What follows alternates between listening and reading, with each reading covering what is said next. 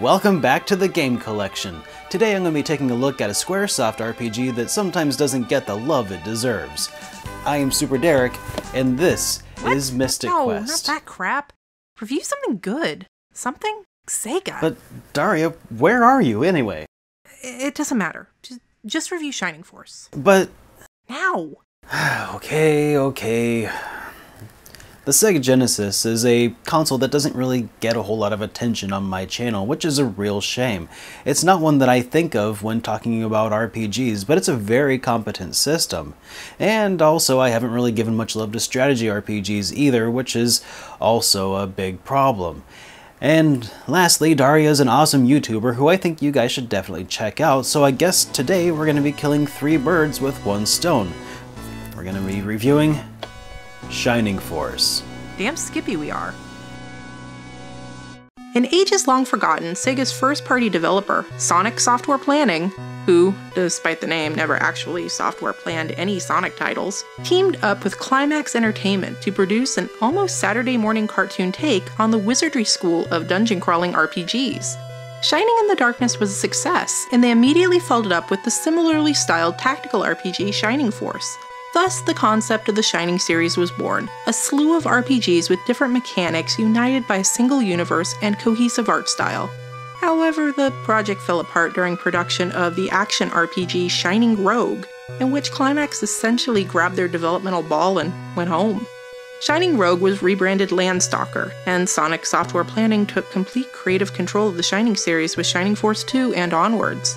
Later, they'd change their name to Camelot Software and developed five more Shining RPGs for the Sega Saturn before they ditched Sega for Nintendo and became that company who makes those Mario sports games and, oh, Golden Sun.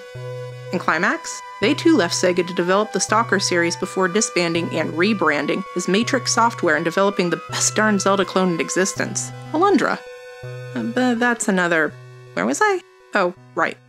Rest in peace, Shining Force. Your light burned bright, but short. Wait, what? Daria, I'm pretty sure I heard about some more recent Shining Force titles recently. The Shining series died with the Saturn. Huh, weird. I guess I must have been mistaken. In Shining Force, you take on the role of Max, a dashing heroic type who happens to be gifted in the use of a sword. Unfortunately, the time comes when Max is forced to use it. While sent out on a mission to prevent Kane from opening the Shining Path, his hometown, Guardiana, comes under siege.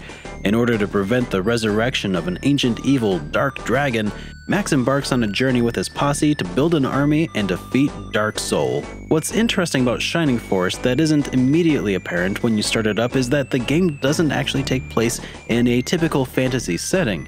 With all this talk of shining paths, dark dragons, swords, and such, you could be forgiven for mistaking this as a typical medieval fantasy.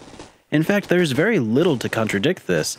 There are centaurs out there, and skeletons, and castles, and tropes that feel right at home in a C.S. Lewis inspired fantasy.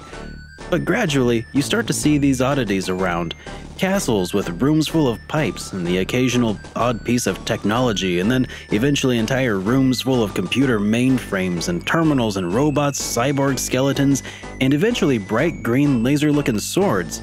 It's an odd yet charming mix of fantasy and science fantasy that feels very unique and welcome in a genre that seldom sees this sort of playfulness in the setting. That said, the events within the plot don't exude the same level of creativity. The overall story of the game feels pretty basic, at least on the Sega Genesis version that we reviewed. I heard that there was actually quite a lot of plot that was lost in translation. The translation and story were expanded upon in the Game Boy Advance version of the game, and there are also some whole new scenarios added to that version. But I didn't really get a chance to take a look at that release. What did you think of the Game Boy Advance title, Daria? Eh, I mean, it's kind of ugly and a dear lord, why is the saturation turned up to eye bleed? And despite the return of the series' first character artist, Yoshitaka Tamaki, the character portraits lost a lot of their original charm. But the one thing I think the remake did very well was flesh out the backstories of Max and his assorted companions. It's definitely worth a playthrough for the expanded storyline, and seasoned Shining Force vets may appreciate the bonus character and collector card editions but otherwise, the game mechanics are pretty much the same between the two versions. I'm sure you viewers of Derek's channel are no strangers to strategy RPGs. They all play pretty similarly. Move your units around a grid, swap blows and magic with the enemy army, win, hopefully, and watch a cutscene before restocking supplies at the nearest town menu. Then do it all again like 30 more times. Cue credits. But Shining Force is different. Sure, you still have the grid and the blows and the cutscenes, but that town menu? It's a town. Like a full town filled with NPCs and shops and treasure chests and Easter eggs. Basically, Shining Force's Fire Emblem meets Dragon Warrior, and it's glorious. I mean, I could understand wanting to expedite the chase to the next battle if the exploration was tedious or the suck, but Shining Force makes the intermission just as, if not more fun, than the combat. There's loads of funny NPCs to talk with and secrets to find and skits to watch. It's like going to the circus before setting off for war, only without all the death because anyone actually slain in battle can be resurrected at the nearest church for the low, low price of 10 gold per experience level. In fact, unlike other, much harder SRPGs, Shining Force encourages grinding. Retreating characters keep all earned XP, and the patient player who holds off on promoting character classes until later levels is richly rewarded with the largest possible stat gains. Shining Force, at least on the Sega Genesis, is pretty easy on the eyes. I really like the battle animations of each of the characters. One of the really cool things is during these animations, you can even tell if a character has a weapon equipped or not. Sure, the animations are usually only a couple of frames, but these big, beautiful pixel art attack scenes feel so satisfying to watch, and really don't slow the progress of battle all too much either. Outside of battle, the character sprites are big, simple, and beautiful compared to Final Fantasy games of the time. The graphics have aged very well. Yoshitaka Tamaki's character designs shine through strongly here and in those character portraits. Composer Masahiko Yoshimura lends his considerable talents to Shining Force, bringing to the table some of the best music that I've heard in ages. A lot of people don't give the Sega Genesis the credit it deserves, and I used to be one of them too not too long ago, but Yoshimura's compositions prove that the Genesis is quite the capable machine, as long as the composer has the skills and talent to really let it roar. One of the reasons that I love Shining Force so much, besides the whole Narnia meets Star Wars thing, is that it's so accommodating to different playstyles. You could completely steamroll the Runefaust army with your overpowered behemoths if you take the time to pump up your squad, or stick to a strict no grind sanction and eke out an exhilarating win by the skin of your teeth. This theme of absolute player control is reinforced even within roster building. By endgame, you'll have acquired 30 characters from which to build a small force of 12, and of those, you have your pick from mages, healers, melee fighters, flyers, and ranged attackers.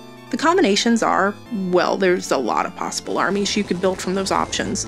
And then on top of that, there's unique weapons, stat boosting consumables, and special rings that you can use to really put that personal touch on your MVPs. And even if you decide to play through the adventure multiple times, reusing, say, the same crew of gorgeous equine gladiators, your experience will never be the same twice. Stat gains are randomized. To a point. Level ups can be as disappointing as no gains whatsoever, or as thrilling as a surge of power that suddenly transforms your dedicated healer into the hardest hitting mother. With its pick-up and play mechanics and lack of permadeath, Shining Force was actually a really great introduction to me to the strategy RPG genre, and it was also a really great way for me to dust off the old Sega Genesis, which I've had sitting for far too long. And with its amazing graphics and music, I'm kinda surprised the game didn't catch my eye sooner. I guess what I'm saying, Daria, is I'm really glad that you turned me on to this series, and Shining Force has definitely earned itself a spot in the game collection. Now, there's just the small matter of you coming into my house and saying that Mystic Quest is crap. You know I can't just let you get away with that, right? The heck I can't.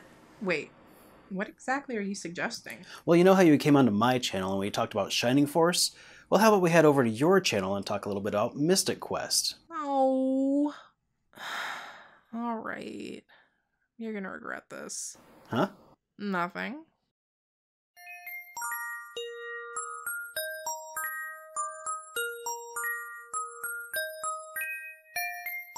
you